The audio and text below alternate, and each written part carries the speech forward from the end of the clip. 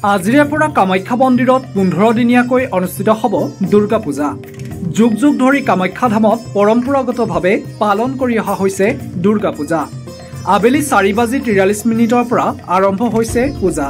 অৰ্থাৎ কৃষ্ণ নৱমীৰ পৰা শুক্লা নৱমী পৰ্যন্ত আয়োজন কৰা হৈছে দুৰ্গা পূজা শাৰদীয় দুৰ্গা মহোৎসৱৰ এইবেলি আমাৰ আজিৰে পৰা আবেলি চাৰি বাজি তেল্লিছ মিনিটত আমাৰ নৱমাদি কল্প আৰম্ভ আৰম্ভ হ'ব।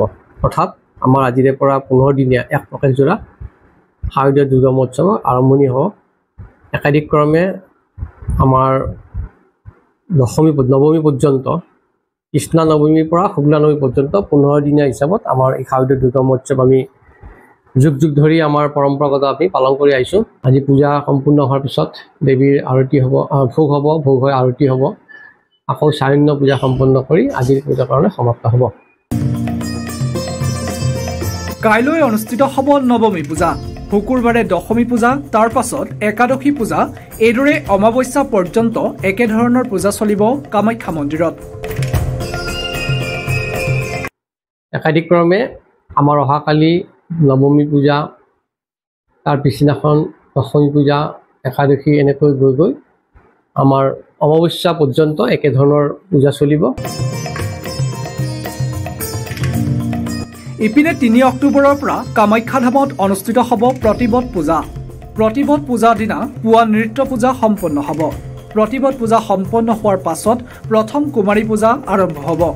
একাদিক্ৰমে নৱমীলৈকে মুঠ পঞ্চল্লিছগৰাকী কুমাৰীক পূজা কৰা হ'ব। অহা তিনি অক্টোবৰ। তিনি অক্টোবৰৰ পৰা আমাৰ প্ৰতিবাদ পূজা হ'ব।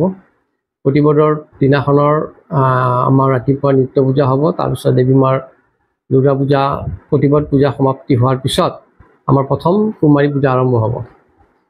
প্ৰথম প্ৰথম দিনাখন আমাৰ প্ৰতিবাদ দিনা এগৰাকী দ্বিতীয় দিনাখন দুগৰাকী তৃতীয় দিনাখন তিনিগৰাকী চতুৰ্থ দিনাখন চাৰিগৰাকী একাধিক্ৰমে আমাৰ নৱমীলৈকে পঞ্চল্লিছগৰাকী কুমাৰীক আমি এই দুৰ্গা পূজা শাৰদীয় দুৰ্গা পূজাখনত আমি পূজিত কৰোঁ।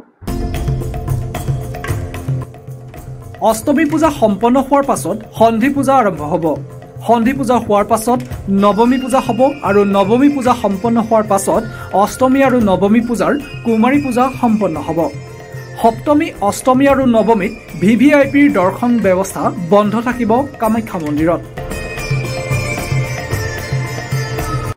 এইবেলি যিহেতুকে আমাৰ তিথিৰ পূজাৰ যিটো আমাৰ তিথি উৎসৱত আমাৰ কিছু সামঞ্জস্য হৈছে অৰ্থাৎ আমাৰ ন- অষ্টমী আৰু নৱমী অষ্টমী আমি নৱমীৰ দিনাখন একেদিনাই অৰ্থাৎ এঘাৰ তাৰিখে আমাৰ ৰাতিপুৱা নিত্য পূজা হ'ব। নিত্য পূজা হোৱাৰ পিছত আমাৰ ৰাতিপুৱা অষ্টমী পূজা হ'ব। অষ্টমী পূজা হোৱাৰ পিছত আমাৰ সন্ধি পূজা হ'ব।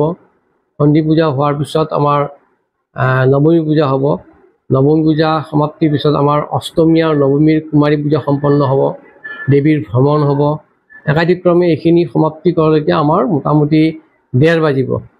ডেৰ বজাৰ লগে লগে আমি তীৰ্থযাত্ৰীকৰণে দুৱাৰ মুকলি কৰি দিম। ডেৰ বজাৰ পৰা সূৰ্যাস্তলৈকে। যিহেতুকে সময় তাকৰ। গতিকে আমি সেই সময়ছোৱাত অকল বাৰশ ওৱান থাউজেণ্ড টু হাণ্ড্ৰেড যাত্ৰীকে আমি দৰ্শনৰ ব্যৱস্থা কৰি ৰাখিব পাৰিম। আৰু এই সময়ছোৱাত যিহেতুকে আমাৰ দৰ্শনৰ সীমা তাকৰ আমি এইকেইদিনৰ অৱস্থাত সপ্তমী অষ্টমী নৱমী এই তিনিদিনত আমি ভি ভি আই পি দৰ্শন ব্যৱস্থা বন্ধ ৰাখিছোঁ। অকল সৰ্বসাধাৰণ ৰাইজ যিখিনি ৰাতিপুৱা আহি শাৰী পাতি লাইন ধৰে সেইখিনি আমি দৰ্শনৰ ব্যৱস্থা গ্ৰহণ কৰিব পাৰিম। এই শাৰদীয় দুৰ্গা উৎসৱ এটা আমাৰ পৰম্পৰাগতভাৱে মা কামাখ্যা দেৱত চলি আহিছে। যিধৰণে ৰামে ৰাৱণক বধ কৰাৰ কাৰণে অকাল বোধন পূজা কৰিছিলে সেই অকাল বোধন পূজাৰ অনুসাৰে আমাৰ কামাখ্যা দেৱী পীঠস্থানতো একেধৰণৰ পূজাই আমাৰ হয়। ৰামে বনবাস খাটি ৰাৱণক বধ কৰাৰ কাৰণে যিধৰণে আমাৰ দেৱীক আলোচনাত লৈছিলে। সেই অনুযায়ী আমাৰ যিসকল পূজাৰী থাকে অৰ্থাৎ প্ৰতি বছৰে যিসকল পূজাৰীয়ে এই পূজা উৎসৱ আমাৰ সম্পন্ন কৰে তেওঁলোকেও আমাৰ ঘৰৰ পৰা এইকেইদিন বাহিৰত থাকি অৰ্থাৎ মন্দিৰ কম কম্পাউণ্ডৰ ভিতৰত প্ৰসংগ প্ৰাংগণত থাকি তেওঁলোকে দিনৰ ভাগত পূজা কৰে। ৰাতি ইয়াতেই তেওঁলোকৰ আমি হবিচন্ন খোৱা বোৱাৰ ব্যৱস্থা ৰাখোঁ। তাতেই তেওঁলোকে বিচনা পাতি আমি দিওঁ ৰাতি শুবৰ কাৰণে। আৰু গোটেইখিনি কৰাৰ পিছত পুৱা আকৌ তেওঁলোকে গা পা ধুই ৰেডি হৈ নেক্সট ডে কাৰণে পূজা আদি কৰে। একাধিক্ৰমে আজিৰে পৰা পোন্ধৰ দিনলৈকে একেধৰণৰ পদ্ধতিতে আমাৰ এই পূজা সমা সমাপন হ'ব।